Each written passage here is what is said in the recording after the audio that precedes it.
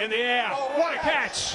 What a catch that was! That was absolutely sensational from Pat Cummins. A remarkable catch. Captain Courageous has taken a magnificent return catch. And Azhar Ali can't believe it.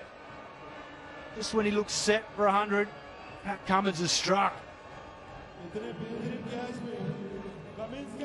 Azhar Ali has hit me straight out of the middle. Pat Cummins on the return.